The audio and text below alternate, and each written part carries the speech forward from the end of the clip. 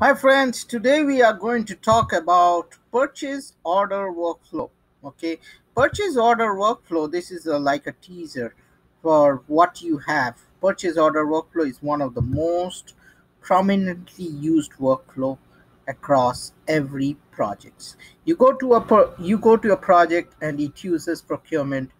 99% of the person will use purchase order workflow and one person who doesn't use because they don't really know how it works okay?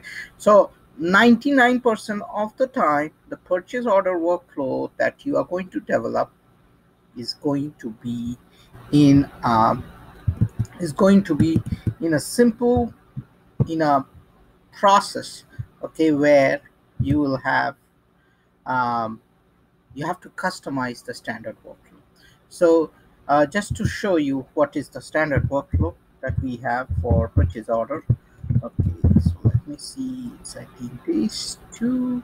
This is the workflow template two zero zero zero zero seventy five. That's the release of purchase order. Okay, and here the design that is there. 90% of the time it's always customized so what happens is you have to use you have to create your new workflow template and based on the workflow template that you are going to create you can use some of this component okay? So most of the component that you might want to use is like probably how to release it and all those things. Otherwise everything is custom. So how you will deliver this purchase order workflow?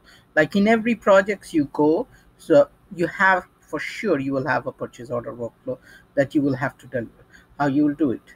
The the training will cover this and that's very important because for sure in your life if you went through like 30 projects for, for uh, you will have 30 objects that is a purchase order workflow and most of the time it's like 20 days 30 days of estimate. So by just go, going through this training you will go through this and you will build a wonderful workflow. And with that, with the same concept, you can build the PR workflow also.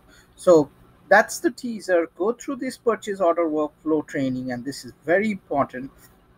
And I, I hope it will add values to you because it covers the events, it covers the methods, it covers the task, it covers the testing part, which is the most important of workflow, and it also covers some of the workflow tables that you are going to use forever okay so that's it. Um, i will be very happy if you can go through the training and let me know how you like it.